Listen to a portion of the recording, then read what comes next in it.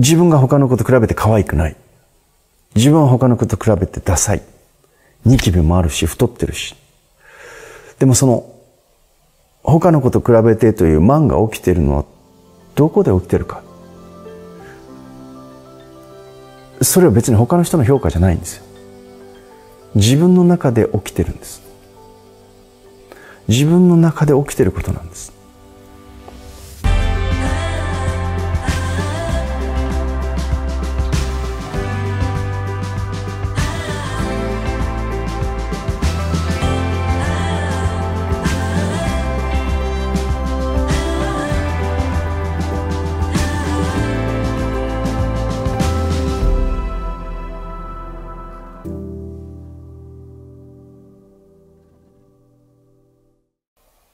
人と比べて落ち込んでしまう。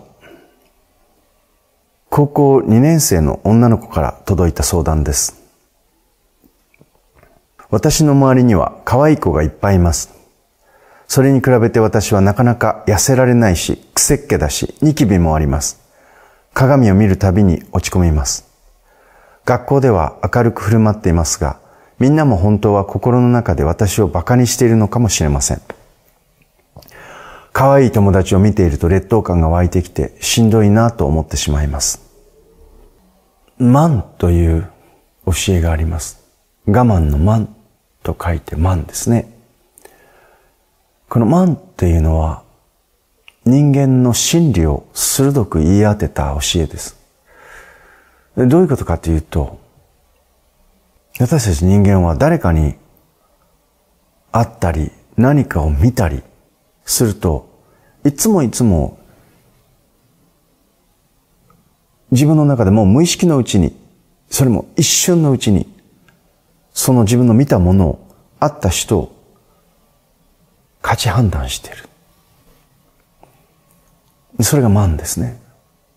どのようにして判断するか。自分より上か、自分より下か、自分と同じぐらい。一瞬にして自分の出会った人をこの三つに分けていく。仏教ではそのようにして指摘しています。人に限らず、物でも、動物でも、何でもそうですね。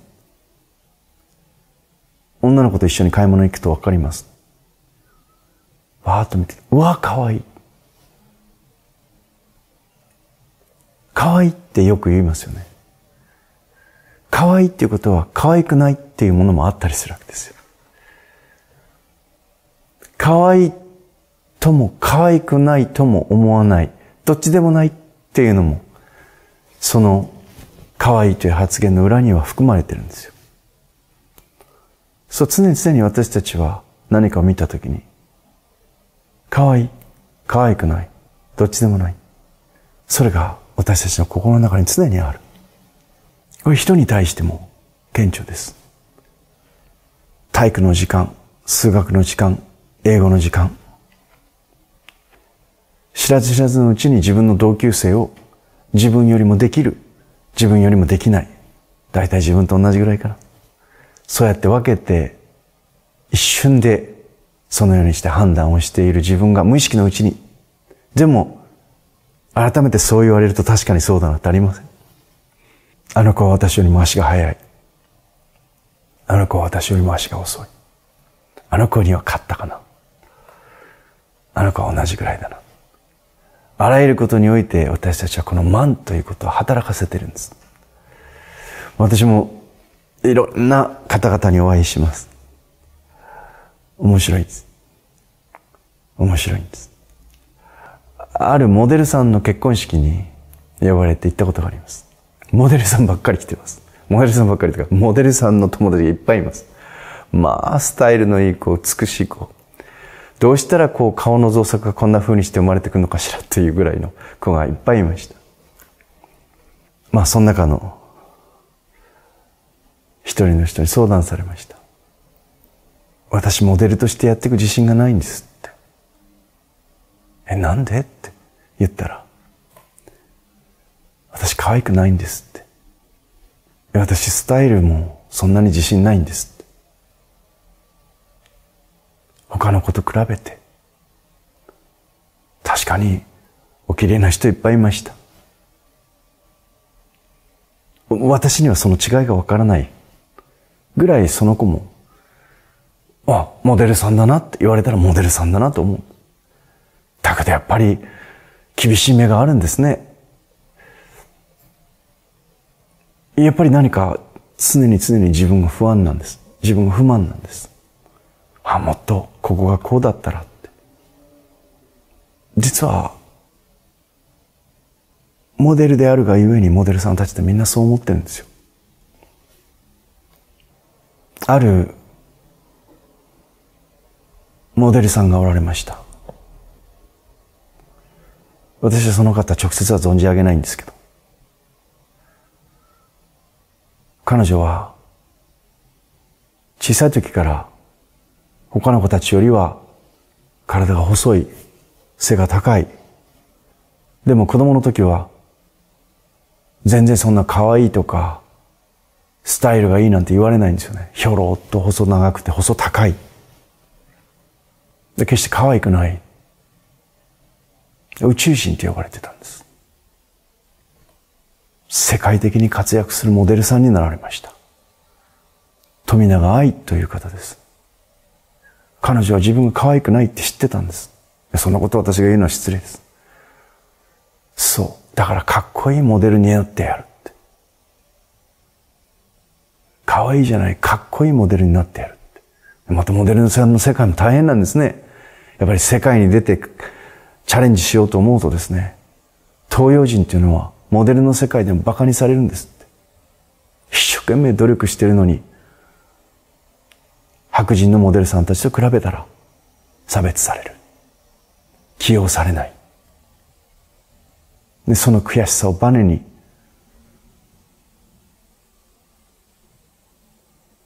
自分のモデルの道をさらに、さらにその悔しさをきっかけにバネにして自分の道をひた進んでいったと自分で自分を改装してそう話しておられます。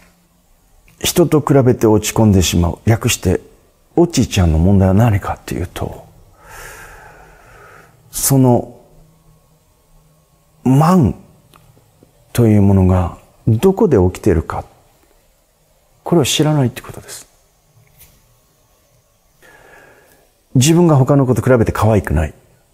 自分は他の子と比べてダサい。ニキビもあるし、太ってるし。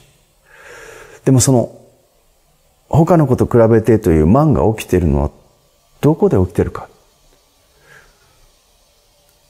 それは別に他の人の評価じゃないんですよ。自分の中で起きてるんです。自分の中で起きてることなんです。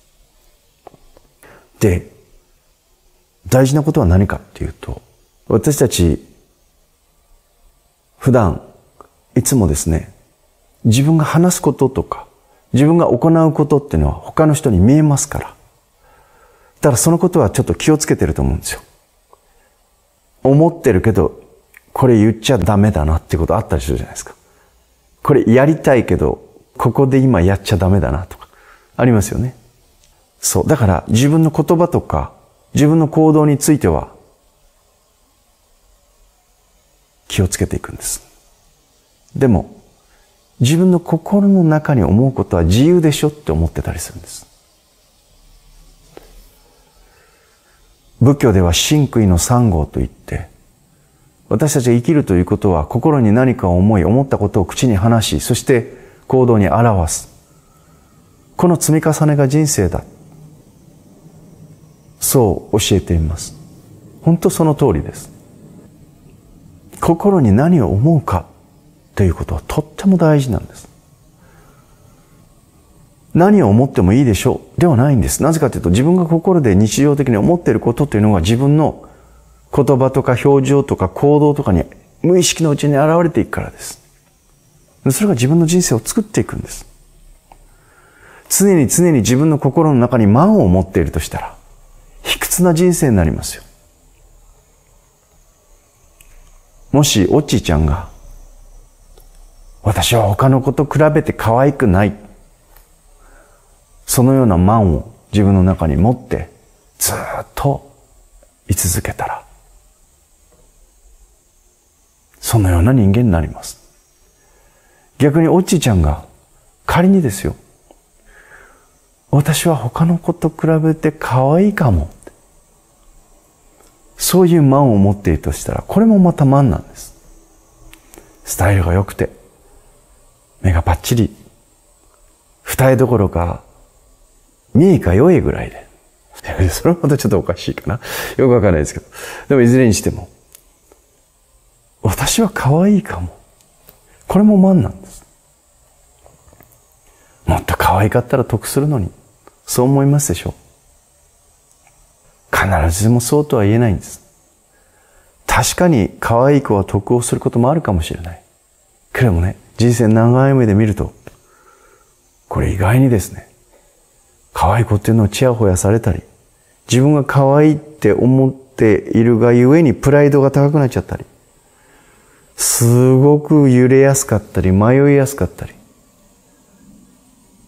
このエゴがまた強くなってしまったり、そういうことが結構あったりするんです。だから私可愛い可愛いって言われて、もう可愛いって言われるのが嫌なんですっていう相談もあるんです。面白いですね。人間って。お釈迦様のお弟子さんにアーナンダという人がいます。このアーナンダは、お釈迦様のお弟子さんたちの中でも最も悟りを開くのが遅かったと言われてます。なぜ？超美男子だったらしいです。いろんな人たちから女性からも声かけられたして、やっぱり心がふわついてしまうんですね。それで修行に打ち込めなかった。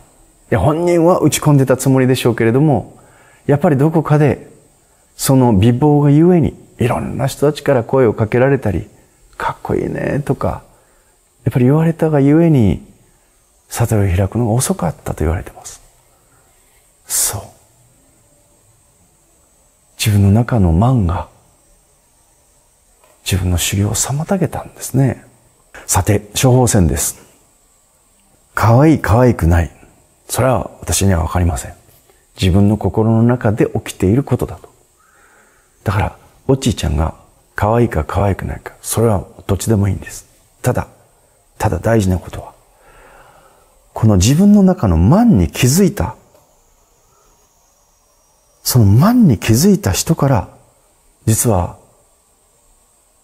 人生に幸福が訪れるんですよ。これなんでかというと、万っていうのは常に人と比べてどうかっていう話なんですね。つまり、自分の目が、ベクトルが外に向いてるんですよ。いつも他の人と比べて自分は、可愛い、あるいは可愛くない。でも、その他の人との比較において、いいな、あの人は可愛いな、あの人は可愛いな、いくら言ってたって別に自分は可愛くなるわけじゃないんですね。つまり何かというと、満を持ってると常に外に自分のエネルギーが向いてしまうんですよ、視点と。で、外っていうのは変えることができないんです。けれどもこれ満に気づくとどうなるか。その今まで比較という形で外を見ていたこのエネルギーを、これが自分の内側に向くんです。あの子は可愛いな。あの子は綺麗な顔してるな。あの子はあの子はってずっと外を見てそれと比べて自分は。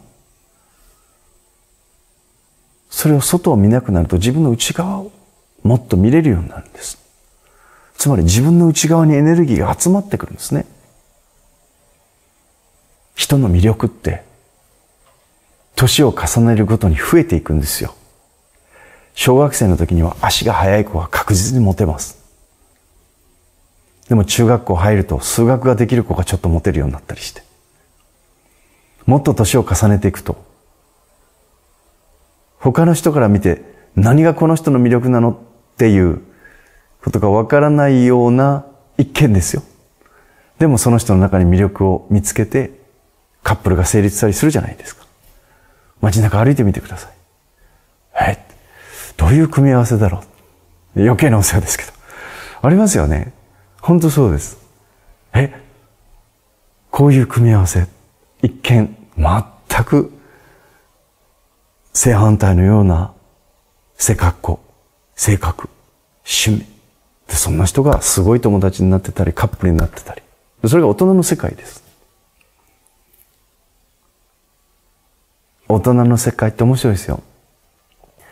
今の学生時代とは全く違った価値観の人たちっていうのが世の中にはたくさんおられます。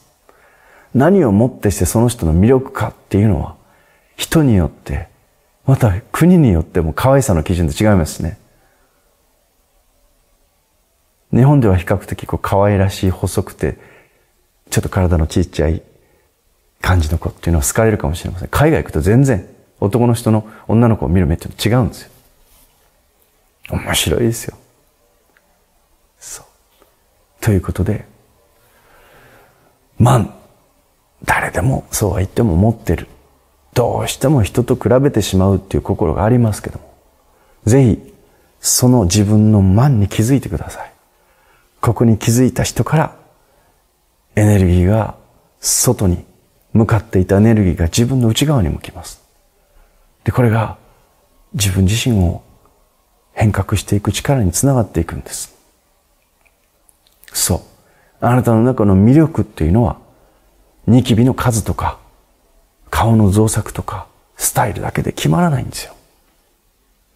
もっともっと、いろいろなその魅力っていうのは人間は持っているので、ぜひ、頑張っても変えようがないものに一生懸命他の人と比較をして戦ってても、あれは時間の無駄ですよ。ぜひ自分自身の内側にエネルギーを集めてみてください。見えてくることが変わってくると思います。応援しています。